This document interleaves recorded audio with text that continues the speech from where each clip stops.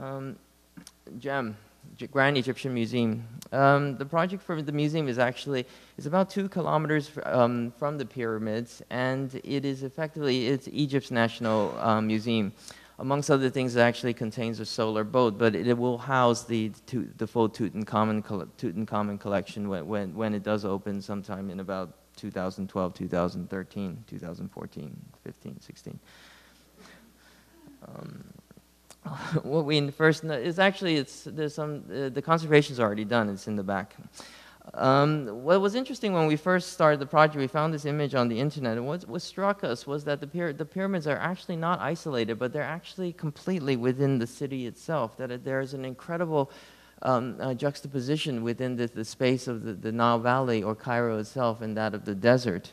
And it was this juxtaposition that actually started the project the fact that the, the, antiquity, which is represented by the pyramids, and modernity, which is represented by modern day Cairo, and somehow how do we do basically um, uh, uh, um, uh, kind of capture that within the project? Uh, another condition um, with, within Egypt is that Egypt, uh, in many ways, even though we know it with all the artifacts and the masks and so forth, is actually, the, Egypt is about the Nile. When we first went to Egypt and we made a presentation to the minister, he said, you Westerners, you think all Egypt is about is about sand. We actually hate the sand. In fact, Egypt is more about the green, and um, maybe you can try to do something about that. So we went back to our drawing board, and um, at this point, we engaged uh, West 8, who saved the day. Um, the project is, one third of the project is actually the building. We created an infrastructure that overlaid on the entirety of the site. But what's important is that the, the kind of this Nile or infrastructure was, uh, was very important to the Egyptians and is really the kind of this, this condition that allowed Egypt to, to kind of prosper and create a society that would create the, the, the, the artifacts. And, um, and what somehow was that, that we were trying, what the, what the gardens would do, which actually occupies 60% of the site, we hope that the gardens would somehow tell a story or an exhibition of Egypt, uh, of the lands itself, and that somehow, with that seen in conjunction with the museum together, would actually full, form the full experience of the Egyptian museum. The gardens also would be something that would be used um, very much during the, every day within the community uh, as a park. So here you can see this kind of juxtaposition, which is an extreme condition within Egypt the Nile Valley at the lower level, which is extremely lush, extremely green, if not greener than Ireland, and the desert plateau, which is what most of us know of Egypt, which is about 20 to 25 stories high. It's a plateau that exists substantially above the Nile Valley. And, it, and it's this kind of sharp juxtaposition between desert of the dry afterlife versus the green life that, that, that uh, West 8 tried to capture within the gardens. Here you can begin to see the sectional condition and also the green versus the desert. What's interesting about it is that the site is actually uh, well, very, there's the pyramids on this side. It's extremely well selected. It's selected at a point where the Nile Valley actually hits the desert, desert plateau. So this, this very important symbolic as well as geographical condition is very much captured with, with, within just the selection of the site itself. So here you can see the Nile uh, the floodplains that would go all the way out to the desert plateau, and the desert plateau, which is where the pyramids are built on, which is about 60 to 70 meters above the Nile Valley. So the, when we started the project, this yellow line actually indicates this, uh, this, this so-called uh, condition where the Nile Valley hits the desert plateau. And this condition actually goes right through the middle of the site, uh, which is actually calling this a structural problem because we actually have a fault line through the middle, so the engineers are a bit frustrated. Um, the, the, uh, so there's a giant retaining wall, there's a lot of movement joints and so forth. Um, the building's moving all over the place. So the, the first thing we tried to do was somehow make that condition extremely significant. So the first thing is that that kind of cliff face, we effectively architecturalized that cliff face. And that cliff face in section was designed in such a way that from the site itself, it actually struck a line so that it connected to, to the top of the pyramids. And that effectively forms the profile of that wall. That wall stretches the entirety of the site. It's a translucent stone wall and it runs over half a mile. And it's about 25 stories high. So it runs from a here, which is about 20 stories high, to about here, which is about two stories high, and it runs a little bit over half a mile. And in some ways, this was a kind of, this was effectively the image of the building, the iconic symbolic image of the building. And some, it also effectively highlighted this condition where the Nile Valley would come up dead against the building and would basically, and the uppermost level would, would be the desert plateau, and the building would actually um, mediate between these two conditions as part of the overall master plan, this is another drawing by West 8, is that it, we saw the building not just would be, this is another World Heritage Site, um, it, not just that the building would be within the World Heritage, well, actually the pyramids are within the UNESCO World Heritage Site. And the idea was to create an esplanade that would connect the building all the way to the pyramids and simultaneously take UNESCO's site to wrap the building itself, forming an overall structure that would actually bring all the way us one out, all the way out to Saqqara, which are you know, the series of pyramids. Origin. Um, so this is showing the delta, which is uh, what we thought was interesting. In some ways, inspired some of the building was was that this idea that as the Nile basically hits the Mediterranean, the line, the original singular line that would form the the Nile would actually expand and form tributaries, and these lines would effectively form space and fields. And, and in similar ways, the building actually tries to capture this kind of structuring principle to create space. So very simply, at the uppermost level, the, the, site itself, which is about a half a mile by half a mile, the pyramid. So we started by creating this line between the site and the, and the pyramids. So this architecturalizes the cliff face. And like a, I guess like a Chinese fan, it actually unfolds to capture all three pyramids within the space of the, the museum. And one of Mubarak said was interesting about the, the project was, what was interesting that he said it was the only scheme that actually, from, the, from the, anywhere in the museum, you can actually see the pyramids. If we actually zoom in, you can see a series of horizontal lines that this is a kind of, um, um, this is a museum of archaeological, archaeology was important to um, basically uh, inscribe time into that. And across the site, which is within the axes, this is a line to the, uh, the pyramids themselves, which is the east-west axis. These lines are inscribed over the entirety of the site, which actually form the, the, the chronological bands that would describe the, the, spaces along the entirety of the landscape. And the blue is actually in the Nile Park as it zigzags across the, the, the, the site and would effectively connect between inside and outside. And the building itself would actually be um, inscribed within the space of the lines that would fan out to capture all three pyramids. The lines that fan out actually are the primary structure lines that would actually hold up the roof, eventually hold up the roof and uh, the two cones of vision. The one in this direction would be a view from the upper plateau to Cairo and here to the pyramids. Here again showing the cone of vision, one on the edge described by the largest of the pyramids and the one on the right described uh, by the smallest of the pyramids. And the museum is actually captured within that total cone of vision. On the right hand side here, you can see the desert plateau, which is plus 60 meters, about 20 stories, on this side would be the desert, uh, the Nile Valley, which is at the lower level. Infrastructure. So what was interesting is that to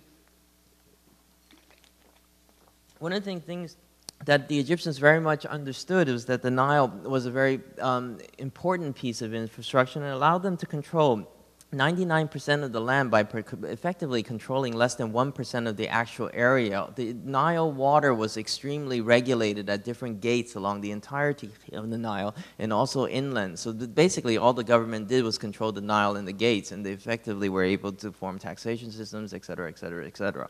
And that was really the kind of primary element that, that actually allowed Egypt to develop.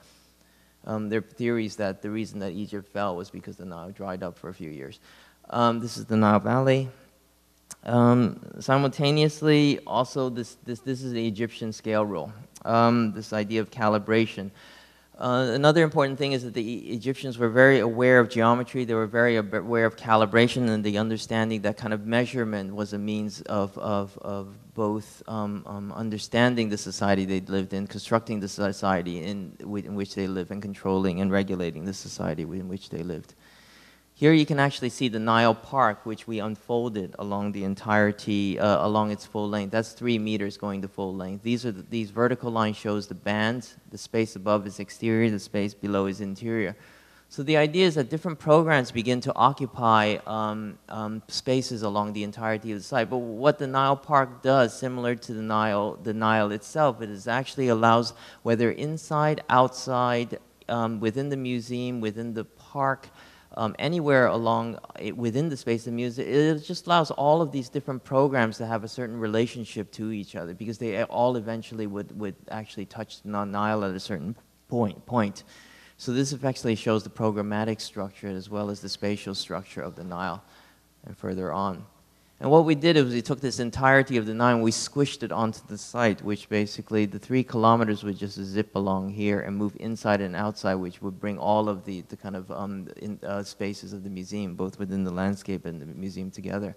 And like the Nile Delta, that the lines actually begin to form fields, that the spaces between the lines can allow for the emergence of gardens, um, which is uh, when West 8 came in to, to actually produce. You can even, this is actually a snapshot of a model that was built for the minister, and it was interesting that the first thing they actually put in was the Nile, because what it does is allow them to uh, understand the, the location of all the levels throughout the entirety of the model and regulate all the horizontal surfaces that go onto it. Zero, zero, zero. Uh, so this actually shows a geometrical diagram. The three pyramids described by three lines that form an arc. That's our museum. Simultaneously, if you actually mirror imaged it, we end up with the same three lines, the same arc on the reverse side. So we're thinking of flipping the light show from the, from the right side to the left side. Um, another thing which was well, quite interesting because the project was so big, when we won the competition, um, we have about 120 people working on it now. There are about 12 teams all over the world we were only three people, so when we went to visit Arup in London, we locked the door and we left, and there was nobody to answer the phone. So it was a very difficult project to do, and I think it was difficult for us because we were only three people, but it was also probably difficult for most firms because it's quite a big project.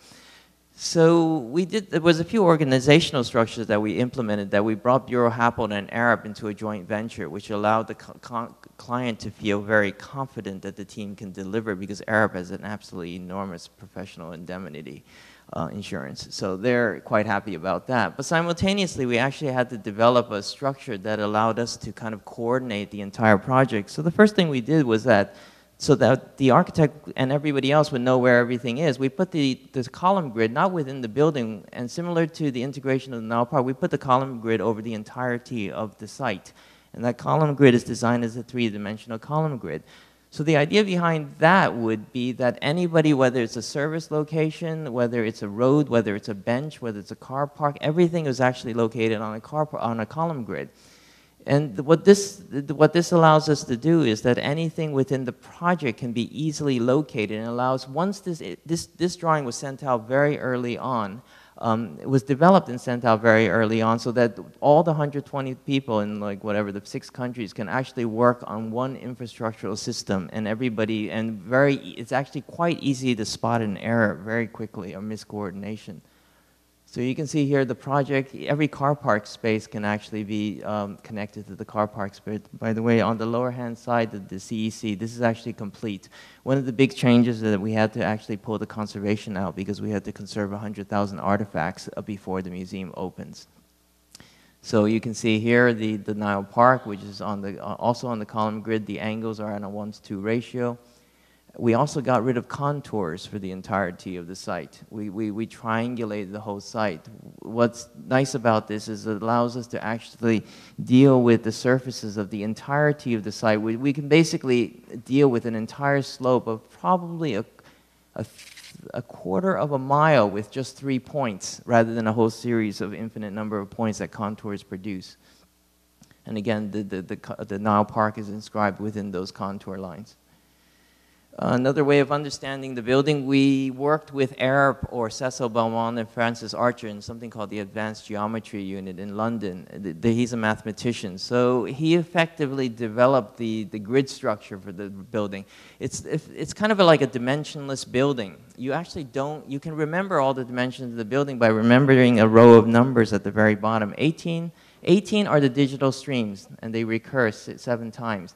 And the galleries are 30, 36, 36, 54, 54, 66.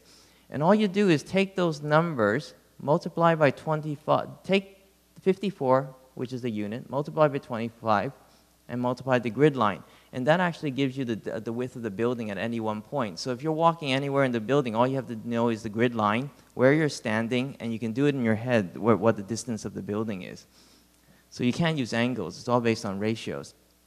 So here you can see the grays here are the digital streams, and they're all 18 units.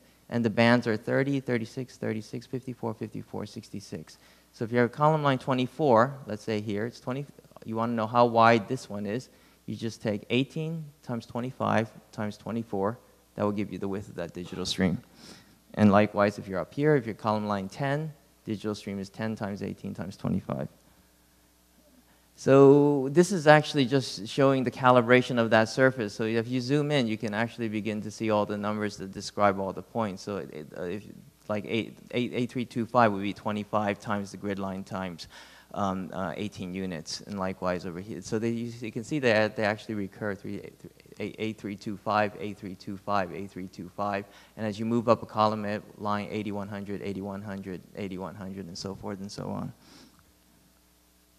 Uh, the other gem, the gardens. Um, this is, uh, this is actually West 8's project. This is, the, this is all of the landscape that, that was actually produced. We had these incredible fights, but at the end of the day, we learned so much about landscape. It was great.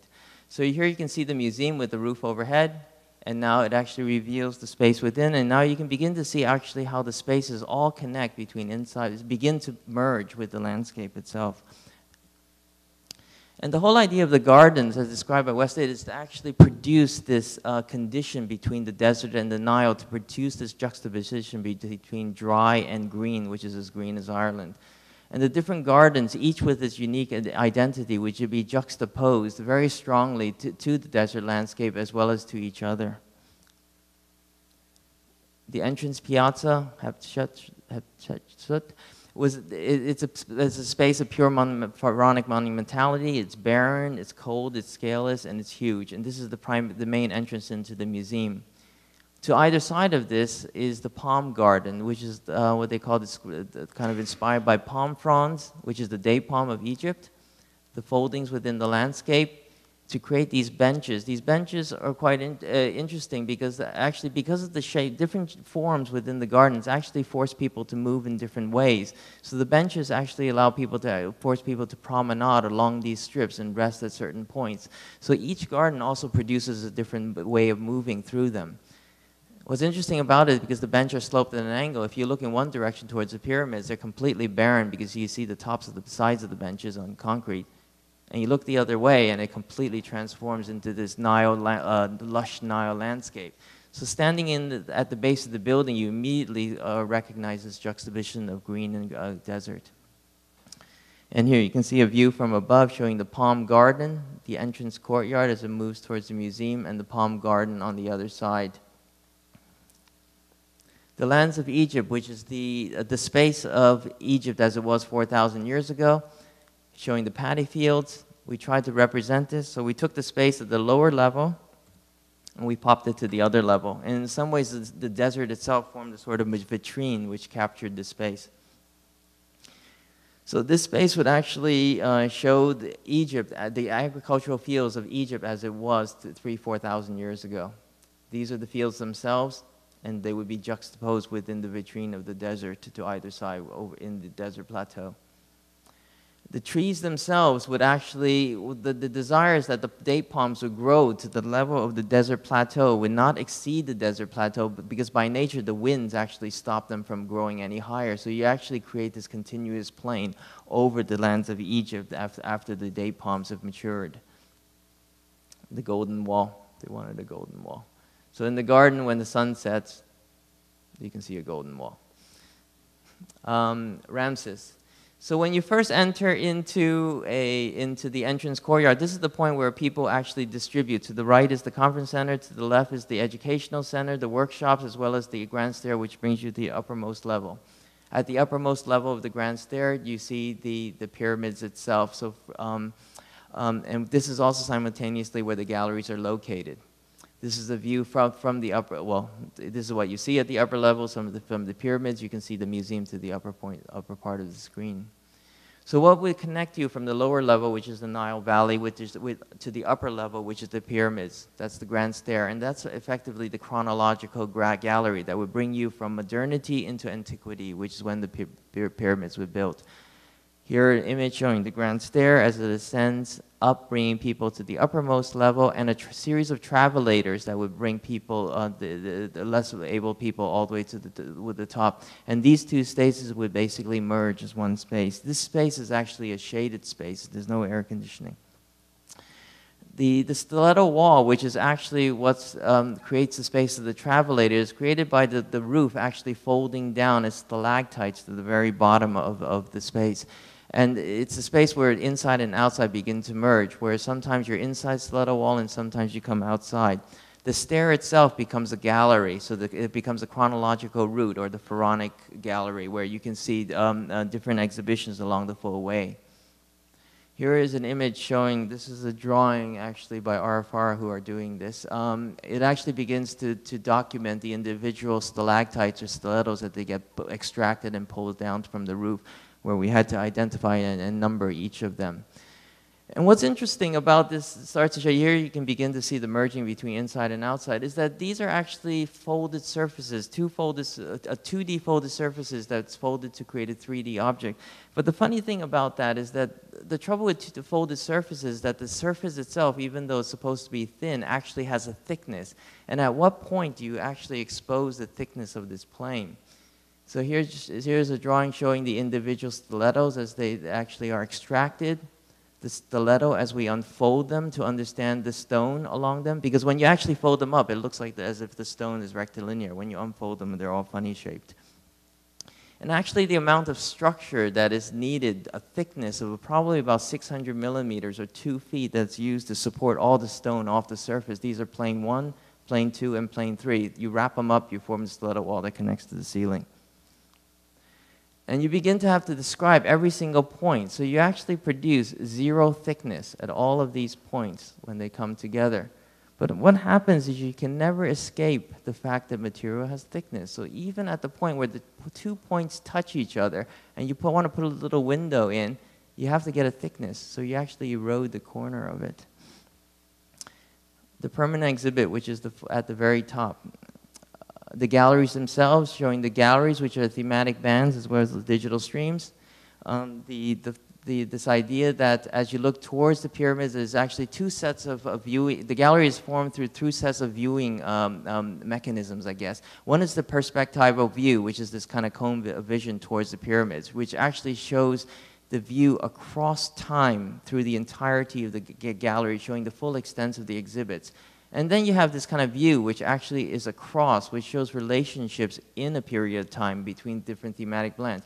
And it's the planar um, approach, to, uh, a planar way of viewing, which is actually more characteristic of Egyptian art, which uses um, layering to, to illustrate depth. So here you can begin to see the, the kind of uh, trays themselves which step down towards the north each tray goes down, also within the, the grand stair they go down, and these basically form a series of connections across time between different thematic bands. This shows the thematic bands through time. So standing here, you can look from the, from the newest kingdom to the oldest kingdom across one theme. And together they basically combine to form the exhibition strategy, um, which is going out to tender now for, I mean, for, for people to submit. This, we're probably going to have a master planner with a whole series of exhibition designers, and they will begin to mix. So here you can begin to see the different trays, the Old Kingdom, Middle Kingdom, New Kingdom, late period, and where they overlap is the intermediate period. These are when the period the kingdoms collapse and um, um, new ones begin to, to emerge. These, so you can see the, the, the trays themselves actually overlap to produce the intermediate space, which is a space of chaos, war, and the long and the short of it, in those periods, there's really no artifacts because all they were doing is fighting. So um, you, the, the spaces for the exhibition is quite small. So here you can see the transition between kingdoms, which is where all the ramps and the gal uh, ramps as well, as well as the stairs happen.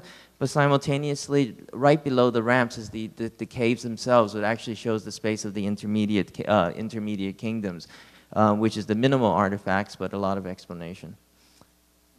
the servicing strategy. We work very closely with Buro Happold to, to produce the servicing strategy. As you know, the, the, the kind of desert condition is a very extreme. How do you basically produce a servicing environmental solution which actually fights the desert without um, basically taking a monster um, footprint, a carbon footprint?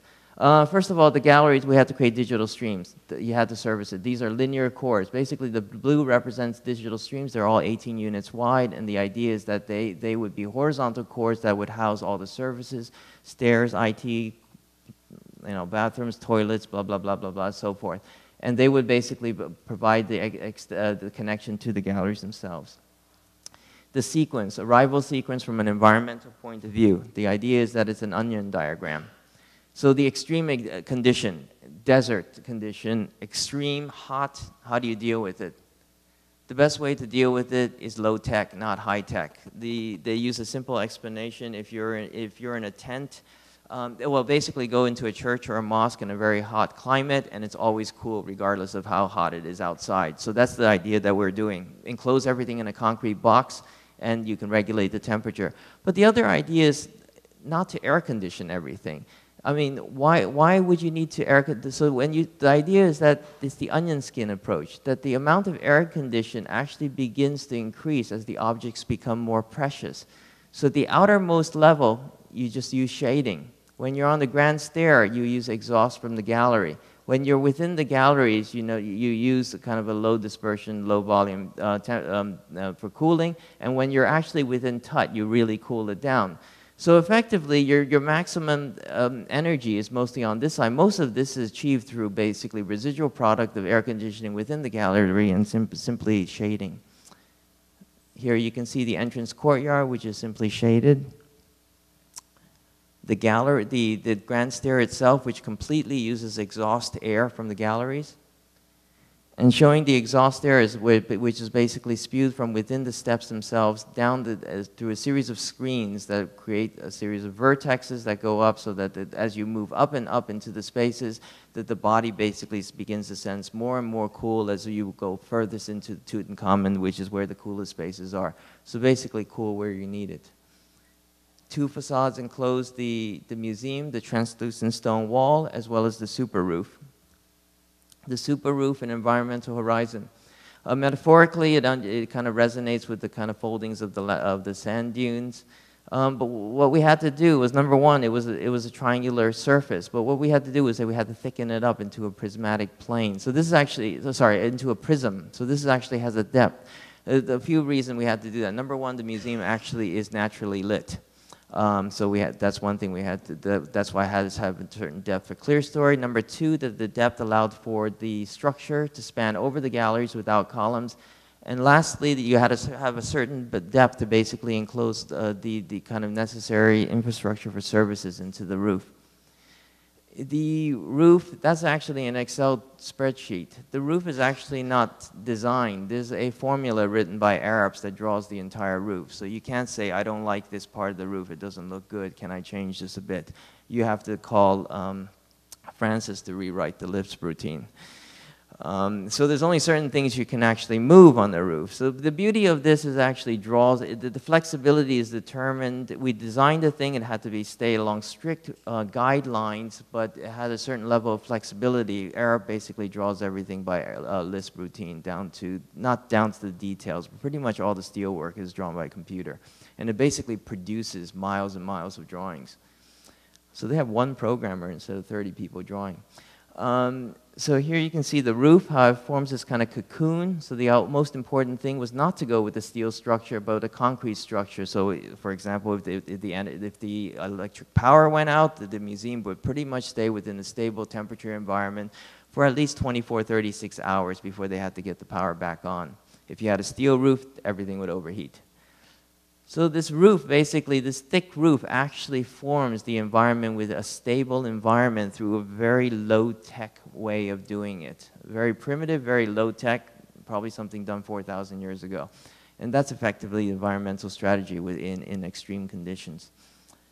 So uh, just to go through the different layers that form the roof, it's called a mesh-mesh sandwich. To start with, the mesh basically takes the full, the, the first hit from the solar radiation. So we use the winds that to, to kind of um, brush the heat from under the mesh away. So that's why there's a space underneath the mesh. The next layer, you have to insulate the roof uh, so there's no transmission of the, uh, of the heat through it, as little as possible. The concrete folds are produced not only to span the full gallery, but to create the spaces that allow for the different services to go in. The access platform, which accesses all the services and drainage structures. The acoustic baffles, which are behind the mesh below to absorb the sound, given the nature of the, the large spaces. The air extract, as well as the smoke extract, are integrated into this. The, the lighting system is integrated, the drainage system is integrated, followed by a mesh to create the mesh-mesh sandwich. Um, all of this forms this kind of fat roof that, that would basically protect the space of the inside. That's just a Buro Happold drawing showing every system overlaid on top of each other. It's still not coordinated after about a year and a half. Um, this, this, they actually did quite a good job with the fire engineering. Um, you can actually see that the, what they did was the roof, the, the shape of those individual folds, which allow the roof uh, to span over the galleries, actually keeps the smoke from spreading because it actually contains it within each area. Before, and, it, because we actually didn't, we went fire engineering for the gallery. You can't basically hit it with code. No code would allow it to do it. So everything was CFD modeled, so, and basically the roof substantially helped it in order to spread the flames, I mean the smoke. So the space of the galleries and the fat roof that would cover the entirety of the galleries. And finally, the translucent stone wall, the Sierpinski gasket stone wall. Um, it's actually called the Sierpinski gasket. Again, it was uh, uh, Francis, uh, Francis Archer Arup actually um, uh, came up with this. It's a fractal system that uses a subdivision of two, and it divides everything by half, and it's binary going in and out based on zeros and ones, which produce the entirety of this um, um, facade. This is actually a later model. When we showed the minister, again, the first one was actually flat, kind of more like the kind of surface um, uh, a triangular, a triangulated facade. And the minister said, um, your wall's too flat, get something going in and out. So I think Francis got these stone patterns to go in and out based on the binary logic. So here you can see the, the stone, uh, the translucent stone wall, which is about 20 stories high down to about two stories. Um, as, at, at this point, I think it's about 10 as you enter the main courtyard. The stone during the day, tr trouble with um, uh, onyx, it's very weak, so had to go to extensive stone testing in order to test the structural strength of it, uh, to, to finalize on the seam details. Same stone at night, the translucent quality. Uh, here you can begin to see the binary nature of it. So basically, um, within each, it's like memory chips. Because it's binary, on each individual megaframe, there's 1,024 pieces, 2,048, 512, 256 uh, simultaneously because it's binary. Each piece of stone actually moves in and out, in and out, in and out. So it's 800, 400, 200, 100, which effectively produces this in and out uh, depth pattern on the entire stone wall. Same stone and uh, wall at night. Um, again, a drawing by Arup where we begin to isolate the 41 megaframes along the entirety of the project the, the, the, the, it's actually not a regular rhythm. The whole idea of the irregular rhythm, it actually corresponds to the programs inside of the museum. When there's certain programs that are quite big, they expand. When certain programs get, like smaller programs get crunched, they actually shrink up. So it actually produces this kind of funny rhythm. I, I think one of these is actually, that one is actually the edge of the gallery. And what's, what they begin to produce, that they produce this kind of banding structure where it basically intensifies and loosens up and intensifies and loosens up. And what the acoustics at Buro Happold did was quite interesting. They actually used those lines to put in the acoustic absorption. The trouble with 250 meters, the gallery in themselves are 24,000 square meters. They're five football pitches. They're 250 meters long. They're like a factory. So, so one of the things that we did was if you put the air diffusers and the acoustics in this format along this surface, what you begin to do is not just visually, acoustically, and in terms of the environment, you get a kind of sensation or undulation in terms of sound and the kind of feeling of coolness and warmth on the body. And what that does, is it actually creates a rhythm of the body as you move through it and we, that was actually quite useful. And also simultaneously, the lighting in the clerestory also follows that logic. So there's not a, it's not like a factory shed, which is continuous, acoustic, um, um, lighting and everything. Basically, it undulates as it moves up and down, which responds to the translucent stone wall. So here you can see the depth pattern. This is the 800 depth pattern. This is the 600, the 400, the 200, and the 100. And they basically move in and out, in and out, in and out to form the full, um, uh, this is one mega frame. Uh, which is, uh, yeah, this is one of the 41 mega frames that was formed the translucent stone wall. Flip it upside down. You can see here the subdivision of the trans Sierpinski pattern, subdivide, subdivide, subdivide, subdivide, subdivide. And basically, what that does is it actually reduces our original design, which had over 250,000 different size panels, to 41. Works very well. Good cost-cutting measure.